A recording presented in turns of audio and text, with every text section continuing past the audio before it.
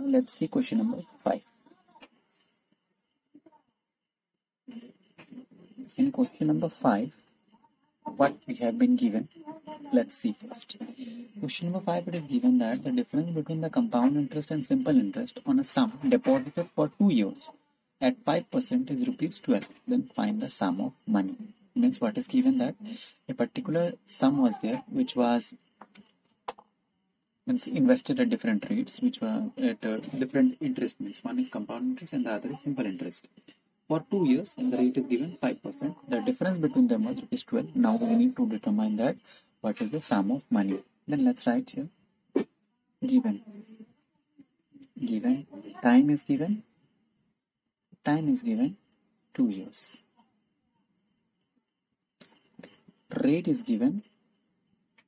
Rate is given 5% and what we have been given is compound interest minus simple interest is equal to rupees 12. Now to find we have to find the principal. We have to find the principal. Now how to find out the principal here? So for this let's do in this way. Let also, an example is given of the same question in your book, example number 4, if you can go through your book. Let the principal. Let the principal be rupees 100.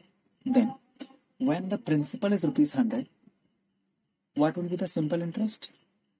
Simple interest will be equal to how much? P into R into T by 100 then what is the principal that we have assumed? It is 100. What is the rate given? 5. The times 2 divided by 100. Then what will be the simple interest? The simple interest will be equal to rupees 10. Simple interest will be rupees 10. Similarly, let's calculate the compound interest. Compound interest will be equal to p into 1 plus r upon 100 to the power t minus p. Let's go on replacing the values. Principal we have assumed to be 100. It is 1 plus rate is given 5 by 100. Time is given 2 minus the principal is 100. Let's solve this. 100. This will be 520 times 100. This will be 21 by 20 this will be square 21 to 20 plus 121 minus 100 which will be equal to 100 into 21 by 20 into 21 by 20 minus 100 this 0 this 0 this 0 this 0 will cancel out. Then 21 into 21 is 441 divided by 4 minus 100 then if we divide this we will be getting 4 1 ja 4 4 1 ja 4 0 0.42 ja 8 and again this will be 4 5 ja 20 after subdividing you can check out by dividing we will get this one.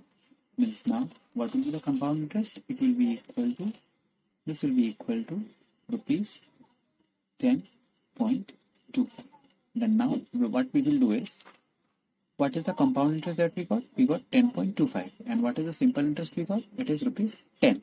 And now what we will do is, what we will do is, we will be writing it in this way. Therefore, compound interest minus simple interest is equal to, what is the compound interest we got? 10.25 minus simple interest we got 10. This much we got this means it is equal to rupees 0.25 now now. When the when the differences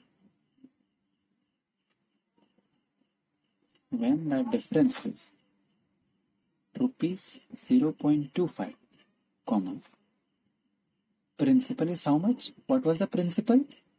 If you can see, the principal was 100.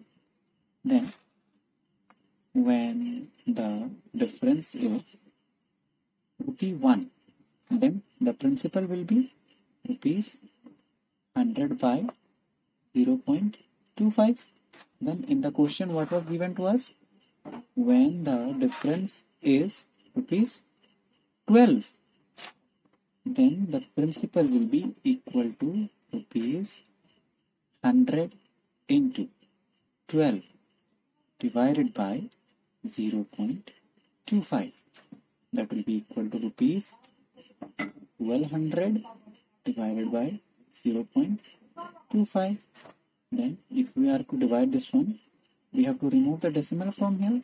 This will be 25 25 and this will become 2 1 2 3 4 then now 25 fours are 100 25 8 times 200 double.